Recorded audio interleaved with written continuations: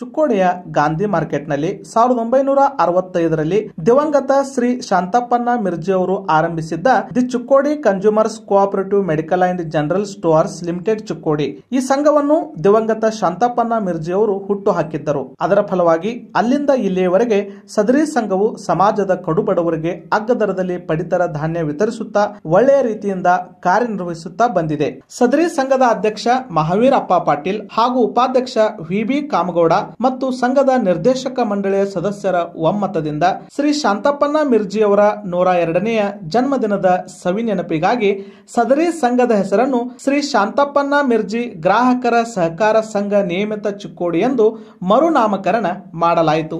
ನಾಮಕರಣ ಸಮಾರಂಭವು ಚುಕ್ಕೋಡಿಯ ಜಗದ್ಗುರು ಸಂಪಾದನಾ ಶ್ರೀಗಳ ಸಾನ್ನಿಧ್ಯದಲ್ಲಿ ಜರುಗಿತು. ಈ ಸಂದರ್ಭದಲ್ಲಿ ಚುಕ್ಕೋಡಿಯ ಮೂವತ್ತು ಪೌರ ಕಾರ್ಮಿಕರಿಗೆ ದಿನಸಿ ಕಿಟ್ ಅನ್ನು ವಿತರಿಸಲಾಯಿತು. ನಾಮಕರಣ ಅನಾವರಣ ಸಮಾರಂಭದಲ್ಲಿ ಸಂಘದ ಅಧ್ಯಕ್ಷ ಮಹಾವೀರಪ್ಪ ಪಾಟೀಲ್, ಉಪಾಧ್ಯಕ್ಷ ವಿವಿ ಕಾಮಗೌಡ, ನಿರ್ದೇಶಕರುಗಳಾದ S P Belavi, Balasaheb Mekkalaki, Mahavir Mirje, Prakash Kulkarni, Bharati Mirji, Megha Rokade, Kallappa Irgar ಶಾಂತಪ್ಪನ Mirji, urban cooperative bank limited ಚುಕ್ಕೋಡಿಯ ಆಡಳಿತ ಸಲಹೆಗಾರ ಬ್ರಹ್ಮನಾಥ್ ಬೋಸ್ಕರ್, ಪ್ರಧಾನ ವ್ಯವಸ್ಥಾಪಕ ಕುಮಾರ್ ಕುಂಬಾರ್, ಮುಖ್ಯ ಲೆಕ್ಕಾಧಿಕಾರಿ ರಾಜು ಒಂದೂರೆ ಶಾಂತಪ್ಪನ ಮಿರ್ಜಿ ಅರ್ಬನ್ ಬ್ಯಾಂಕಿನ ಸಿಬ್ಬಂದಿ ವಿದ್ಯಾನಂದ್ ಲಕ್ಕನ್ನವರ್ ಪುಟ್ಟು ಶೆಟ್ಟಿ ರಾಜ್ಕುಮಾರ್ ಒಂದೂರೆ ಸಂಘದ ನಿರ್ದೇಶಕ ರಾಜು ಕೆಸ್ತಿ ಸೇರಿದಂತೆ ಮುಂತಾದವರು ಉಪಸ್ಥಿತರಿದ್ದರು. ವರ್ಷ ಹಿಂದ್ಗಡೆ ಊರಲ್ಲಿ ಜನರಿಗೆ ಪ್ರಜೆಗಳಿಗೆ, ಊರಿನ ಪ್ರಜೆಗಳಿಗೆ ಏನು ಬೇಕು, ಏನು ಎಲ್ಲ ಅನ್ನೋದು ಅವರು ಅರಸಿಕೊಂಡಿದ್ರು ಆ ಪ್ರಕಾರ ಆ ವೇಳೆಯಲ್ಲಿ ಸುಮಾರು ಈ ಸೀಮೆ ಎಣ್ಣೆ, ಸಕ್ಕರೆ, ಅಕ್ಕಿ ಇವೇನು ಪದಾರ್ಥ ಬೇಕಷ್ಟು ಸಿಗ್ತಿರಲಿಲ್ಲ. ಆ ವೇಳೆಗೆ ಅಣ್ಣವರು ಒಂದು ವಿಚಾರ ಮಾಡಿ ಈ ನಮ್ಮ ಚಿಕ್ಕೋಡಿ ನಾಗರಿಕರಿಗೆ ಈ ಯಾವ ಸೌಲಭ್ಯ ಸಿಗುದಿಲ್ಲೋ ಆ ಸೌಲಭ್ಯ ಸಿಗಬೇಕಂತ ಅವ್ರು ಆವಾಗ ಹುಟ್ಟಾಕಿದ್ರು. ಆ ವೇಳೆಗೆ ನಾನು ಸುಮಾರು ಐವತ್ತೈದು ಹಿಂದೆ ಅಂದ್ರೆ ಸುಮಾರು ಹತ್ತೊಂಬತ್ತು ನೂರ ಅರವತ್ತೈದು ಅರವತ್ತಾರದಲ್ಲಿ ಅಂದ್ರೆ ಸ್ಥಾಪನೆ ಆಯಿತು. ಆ ವೇಳೆಗೆ ಅವರಿಗೆ ಶಂಕರರಾವ್ ಗೋರ್ಪಡೆ ಆಗಲಿ, ಈ ವಾಯ್ಕೆ ರೋಕಡೆ ಅವರ ಅಣ್ಣವರಾಗಲಿ, ಸುಮಾರು ಜನ ಅವ್ರಿಗೆಲ್ಲ ಸಾಥ್ ಕೊಟ್ಟು ಒಂದು ಒಳ್ಳೆಯ ಸಂಸ್ಥೆ ತಯಾರು ಮಾಡಿದ್ರು. ಈ ಅಣ್ಣವ್ರು ಮಾಡಿದ ಈ ಚಿಕ್ಕೋಡಿ ಕನ್ಸ್ಯೂಮರ್ ಸೊಸೈಟಿನೂ ಒಂದು. ಆ ಒಳಗೆ ಸುಮಾರು ಇದು ಅಡಚಣೆಗಳು ಬರ್ತಿದ್ವು. ಅಡಚಣೆಗೆ ಅವರು ಬಾಗಲಿಲ್ಲ. ಅಡಚಣೆ ಬಂದಿದ್ದು ಸ್ವೀಕರಿಸಿ ಜನತೆಗೆ ಏನ್ ಬೇಕಾದ ಸಾಮಗ್ರಿ ತಿಳಿಸಿ ಸಾಮಗ್ರಿಗಳು ಒದಗಿಸೋ ವ್ಯವಸ್ಥೆ ಮಾಡಿದ್ರು. ಇದಲ್ಲದೆ ಅವ್ರ ಅಂದ್ರೆ ಅಣ್ಣವ್ರು ಹೇಗಿದ್ರು ಅಂದ್ರೆ, ಅವ್ರ ದೂರದೃಷ್ಟಿ ಅಂದ್ರೆ ಸುಮಾರು ಜನತೆಗಾಯ್ತು. ಇಂಡಸ್ಟ್ರಿಯಲ್ ಡೆವಲಪ್ಮೆಂಟ್ ಆಗ್ಬೇಕಂತ ಈ ದೂಧಗಂಗಾ ಸಹಕಾರಿ ಸಕ್ಕರೆ ಕಾರ್ಖಾನೆಗೆ ಮುಖ್ಯ ಪ್ರವರ್ತಕರಾಗಿ ಅವರು ಅವ್ರ ಕಾರ್ಯ ಮಾಡಿದ್ಕ ಇವತ್ತು ಸುಮಾರು ಈ ಭಾಗದಲ್ಲಿ ಸುಮಾರು ಲಕ್ಷಾಂತರ ಟನ್ ಕಬ್ಬನ್ನು ನುಸುವ ಸಾಮರ್ಥ್ಯ ಹೊಂದಿತ್ತು. ಆ ಲಕ್ಷಾಂತರ ರೈತರಿಗೆ ಅದು ಅನುಕೂಲ ಆಯಿತು.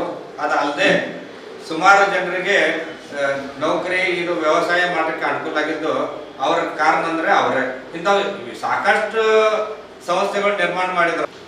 ಸಮಾಜದ ಬಗ್ಗೆ, ಎಲ್ಲ ಸಮಾಜ ಜನರ ಬಗ್ಗೆ ಭಾಳ ತಿಳಿದುಕೊಳ್ಳತಕ್ಕಂಥವ್ರು ಇವರು ಲಿಂಗಾಯತರು ವೀರಶೈವರು ಜೈನರು ಬ್ರಾಹ್ಮಣರು, ಹೀಗೆ ಎಲ್ಲ ಧರ್ಮದವ್ರ ಬಗ್ಗೆ ಭಾಳ ಸಂದರ್ಭದ ವಿಜಯರು ಅವರು ಇವತ್ತು ಅವ್ರ ಹೆಸರನ್ನು ಅರ್ಬನ್ ಬ್ಯಾಂಕಿಗೆ ಇರೋ ಮುಖಾಂತರವಾಗಿ ನಾವು ಅಲ್ಲಿ ಕೂಡ ಅವರ ಹೆಸರನ್ನು ಉಳಿಸಿರ್ತಕ್ಕಂಥ ಕೆಲಸವನ್ನು ಎಲ್ಲ ಮಾಡಿದ್ದೇವೆ ಭಾಳ ಸಂತೋಷ.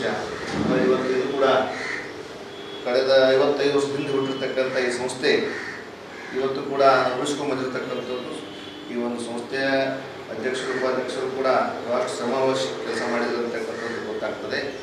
ಇದು ನೂರ ಎರಡನೇ ಒಂದು ಹುಟ್ಟುಹಬ್ಬದ ಸಂಘಟನೆಗಾಗಿ ಈ ಒಂದು ಸಂಸ್ಥೆಗೆ ಸಂದರ್ಭ ನಿಮಿತ್ತ ಗ್ರಾಹಕರ ಸಂಘ ಅಂತ ಹೆಸರಿಟ್ಟಿದ್ದೀವಿ ಇದು ಮತ್ತಷ್ಟು ನಿಮ್ಮ ಜವಾಬ್ದಾರಿ ಹೆಚ್ಚಿದೆ ಅಂತಕ್ಕಂಥ ಮಾತನ್ನು ಕೂಡ ನನಗೆ ಹೇಳಿದ ಯಾಕಂದರೆ ಒಬ್ಬ ಒಳ್ಳೆಯ ಸಮಾಜಕ್ಕೆ ವ್ಯಕ್ತಿ ಹೆಸರನ್ನು ನಾವು ಇಟ್ಟಾಗ ನಾವು ಕೂಡ ಅವರಂತೆಯೇ ಕೆಲಸ ಮಾಡಬೇಕಾಗ್ತದೆ. ಅಂದಾಗ ಆ ಸಂಸ್ಥೆ ಬೆಳೀತದೆ.